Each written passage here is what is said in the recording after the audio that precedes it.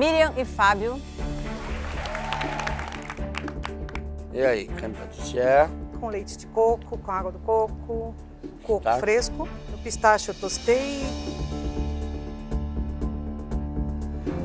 É agradável a comer, é fresco. Se não abusou no açúcar, que ele já é uma boa coisa.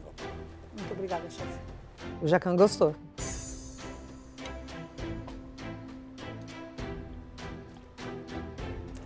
Bom, né?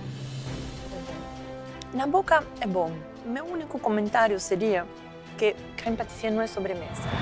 É um ingrediente de uma sobremesa.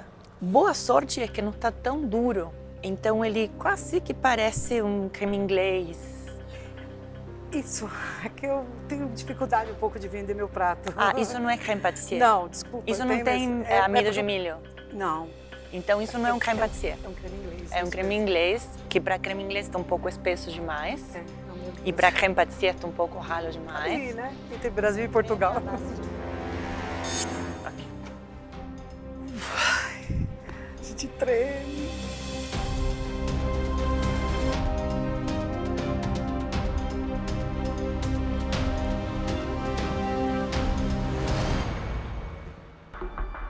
Acho que você teve uma boa ideia. Minha questão somente é é tipo um bolinho, né? Não um creminho brulé. Meu cantinho tá mais passado do que o centro. Acho que o meio do quindim brûlée pode me salvar.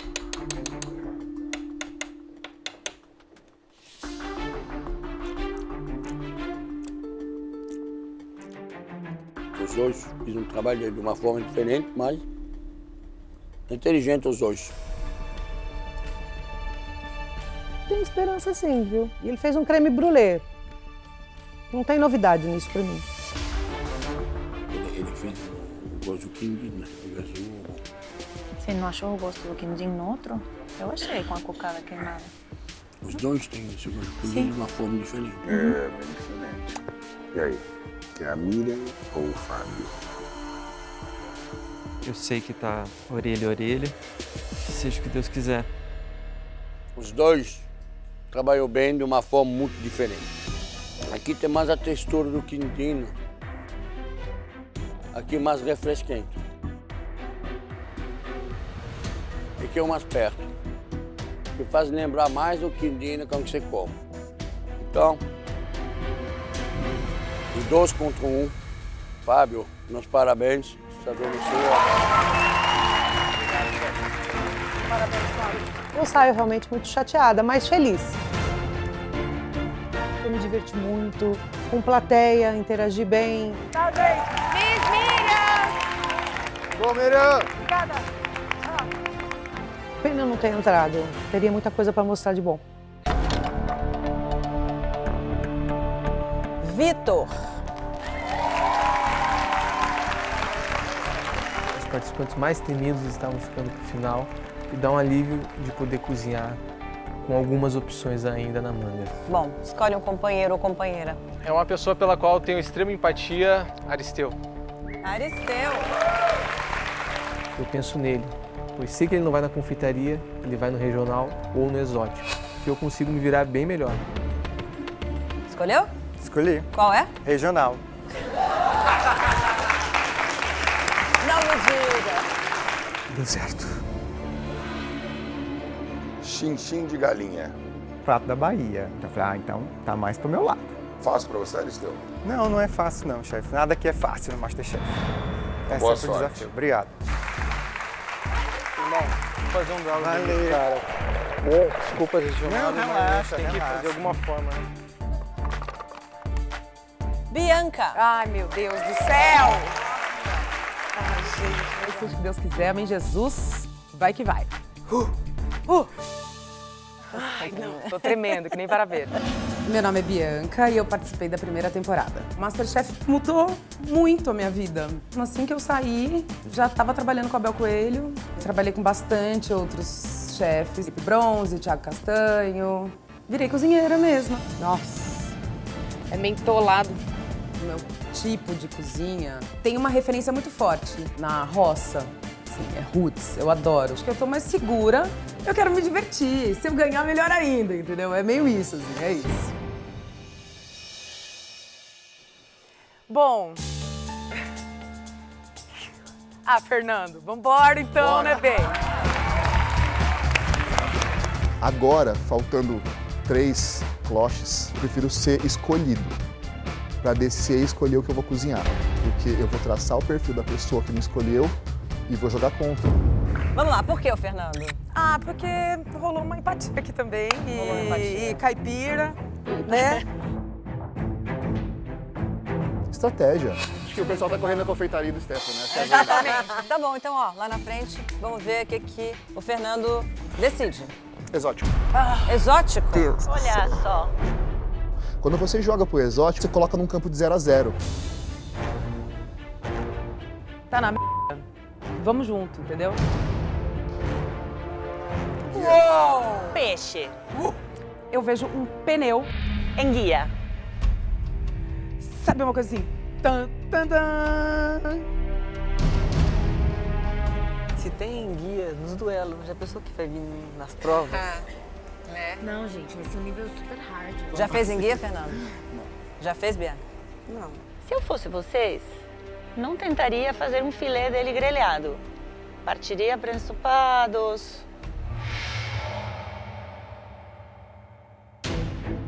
Deu um bloco.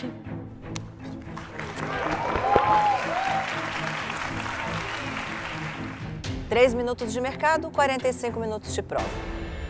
3, 2, 1, valeu, mercado.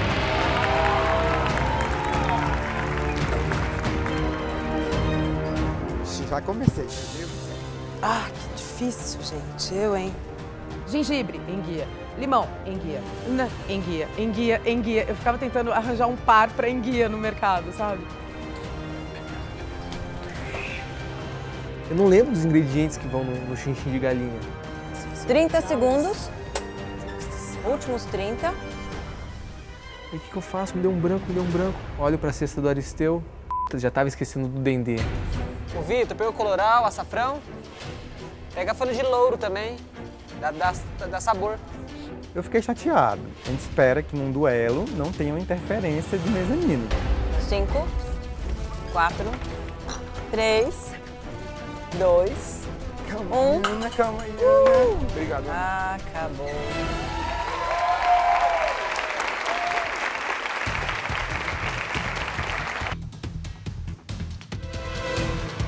Tem 45 minutos a partir de 3, 2, 1, agora.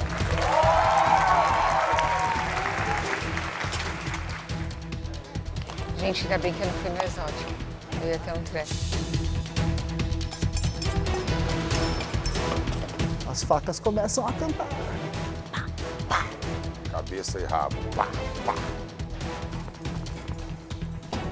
Preciso entender aquilo, porque é novo para mim e eu preciso testar esse peixe antes de qualquer outra coisa.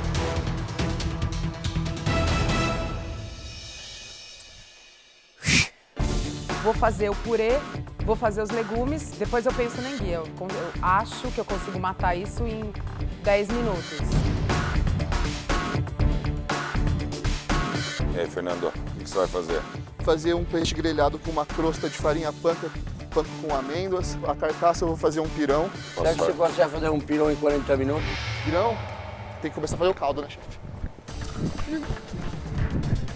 E aí, Bianca? Eu pensei em fazer um filezinho bem fininho, só uma chapadinha, um purê picante de amendoim e uns leguminhos no vapor. Eu não falei para não fazer filé?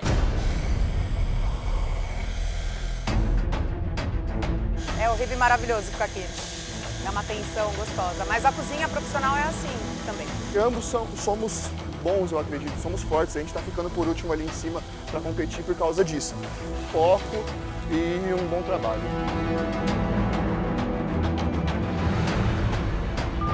Gente, quase 15 minutos de prova já foram, tá? Atenção aqui pro relógio. E boa sorte.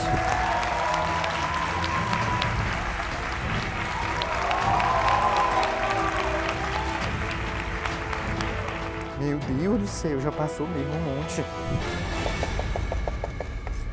Tudo bem? Tudo bem, chefe. Qual é a tua receita? Qual é a tua... É, eu nunca tinha feito o xixim de galinha, eu já tinha estudado há muito tempo atrás. É, então vamos construir uma base forte, é, trabalhar com frango desfiadinho. É, Você a vai fazer o ideia. frango aonde? Eu peguei a sobrecoxa, vou dar uma selada, depois qualquer coisa eu coloco um pouco na água quente. Panela de o pressão, gente. Claro, joga na panela de pressão, 20 minutos está pronto. Panela de pressão, chefe. Você, Aristeu, vai fazer o quê? Eu vou usar o peito do frango. A farinha de trigo é pra? Engrossar o caldo. Qual farinha de trigo? Mandioca não. É, chefe, É. poderia ter sido mandioca, mas eu acabei esquecendo. Sou maranhenses. Aí no Maranhão não é mandioca muito no comum Maranhão. não, mas a gente faz. Bora, ativão, corrida. Corre, corre, corre. Eu tô cozinhando aqui e eu começo a lembrar da minha temporada. Começo a ouvir os gritos de Rita novamente. Aristeu, força. Isso, vai lá, Aristeu, muito bem. E eu uso isso para acelerar a minha cozinha. Vai, Aristeu, corre, Aristeu. 15 minutos pro final, tá, gente? Mais rápido, Aristeu.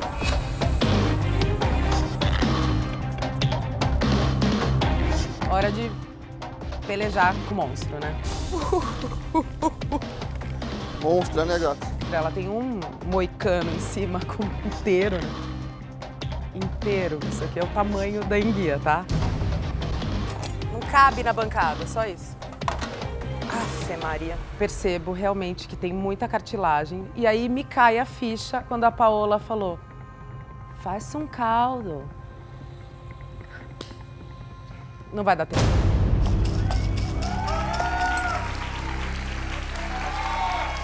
Bianca, falta 10 minutos. Ouvido? Não, a pele é um couro. Não é um peixe, é uma cobra, sabe? É difícil. Últimos 10 minutos.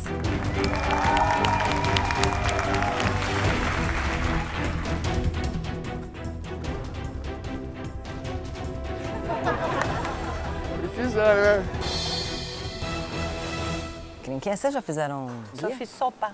Já. Já? O clássico, anguille, sauce vin rouge. E como um é vinho tinto. É anguille, um ragu, é, Hum, é legume, é fogado, é muito fácil, rápido. São 45 minutos. Eu quero entrar, quero a doma.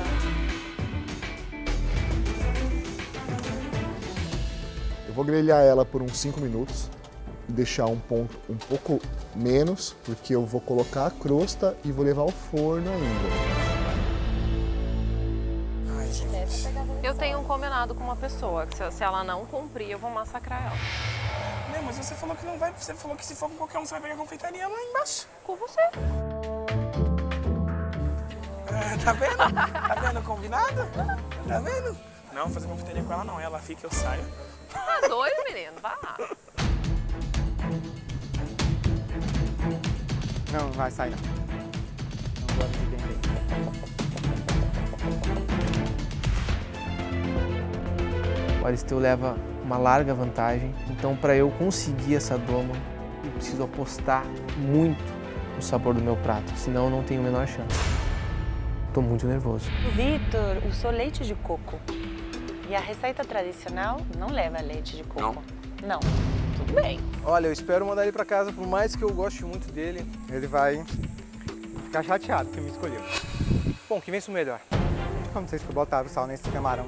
Oi? Oh, meu Deus, pensando que tava falando com ele, bichinho, entende que eu falo só.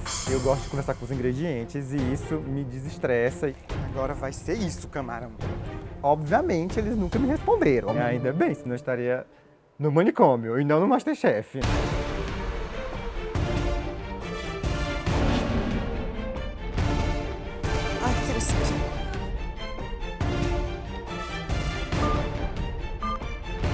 Último minuto na cozinha. Último minuto. Um minuto.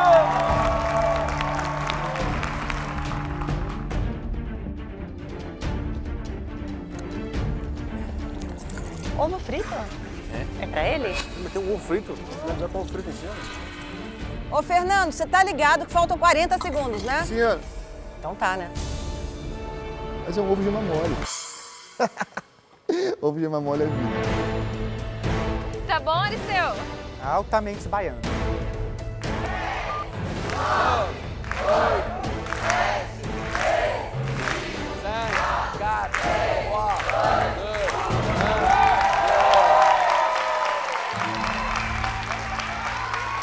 Seja o que Deus quiser, Amém. cara. Foi muito gostoso. Foi, foi muito participar. Nossa, você fez um zoião ainda, bem? O cara mandou filé de cobra com ovo frito e com gema mole, só isso. Tudo bem? Tudo jóia, e você? Cheguei? Saudade. E aí? Filé de enguia Ah. com uma crosta de amendoim, pistache, farinha panko Ah. e ervas. E um pirão de peixe que eu fiz com a cabeça e as aparas do peixe. E o ovo você pensou na última hora? É, eu achei que o ovo, a, a- a gema mole ia dar uma boa incrementada nesse pirão aí pra brincar um pouco. Você lembra que a gente fala aqui, pô, tipo de prato pra comida tá pra fora? Sim. Desculpa, chefe. Coisa de última hora que não deu certo. Descobri agora. Hum.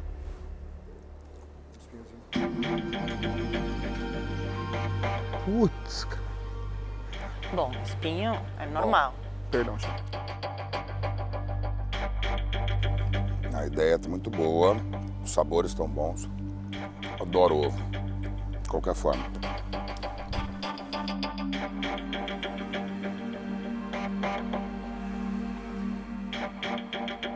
O peixe tem uma textura muito estranha ali, porque não é um peixe para grelhar. Se você tivesse ensopado no mesmo caldo do pirão, e ele ia ficar bem úmido. Ia lasquear, né? Mas o teu peixe está bem seco, Rodei. mas o sabor está bem bom. A sensação de esperar a avaliação é um déjà vu, né? E fora a coragem, né, de voltar, dar a cara a tapa de novo, sabe? Vamos ver esse purê, esse peixinho.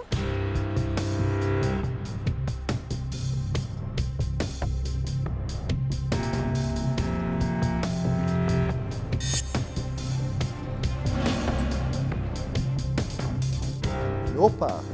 0 a 0 A técnica utilizada é ruim. Não é um peixe que se beneficia sendo grelhado, eu avisei. O purê de amendoim é muito gostoso. Tem mais purê de amendoim do que peixe. Enguia, se ela está temperadinha com muito pouco, o amendoim rouba a cena completamente.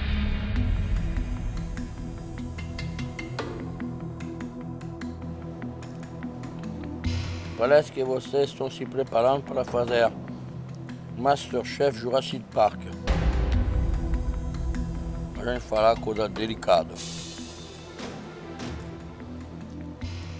Eu tentei ser delicada e leve, nunca Não, trabalhei com guia. fez tudo o contrário. Peixe seco, ponte de acidez. Os dois é a revanche Masterchef. Que precisa molho. Molho, peixe seco. Não dá pra saber o que vai acontecer. Mas sempre foi assim. Quando a técnica está mal utilizada e não atrapalha o sabor, a gente esquece da técnica, porque o sabor ganha. Os dois peixes em si, eles estão secos. Então temos duas técnicas ruins. Mas o teu prato tem muito bom sabor e você fez uma coisa que está certa. Teu prato está mais ensopado. Então esse prato ganha dom.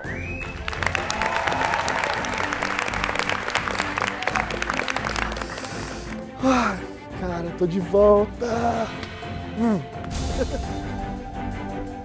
Eu quero te agradecer.